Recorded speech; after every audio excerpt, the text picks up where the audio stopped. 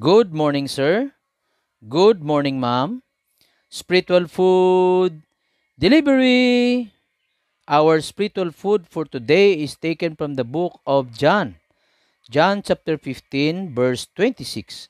But when the Comforter is come, whom I will send unto you from the Father, even the Spirit of truth, which proceeded from the Father, he shall testify of me.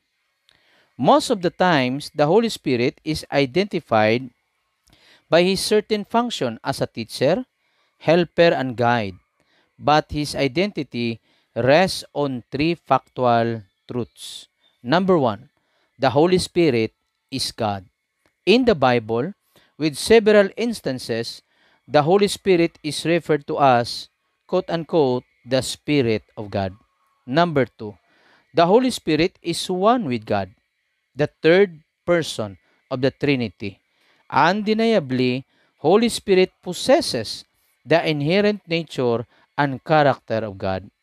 If we observe in John chapter 14, verse 16 to 17, the Greek word for another is literally translated one of the same kind.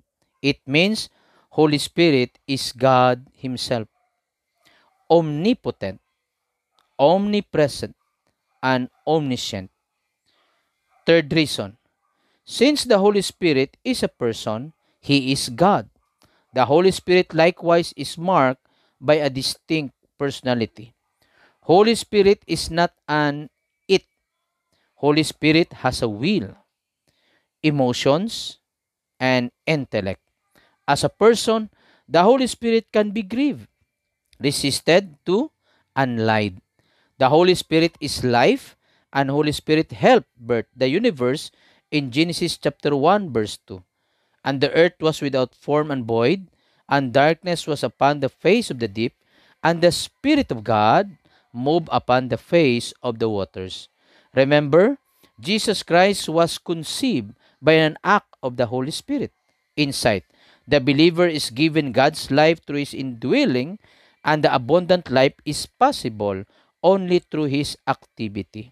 Indeed, the Bible is unequivocal that the Holy Spirit is in fact God, just as Jesus Christ and the Father are God.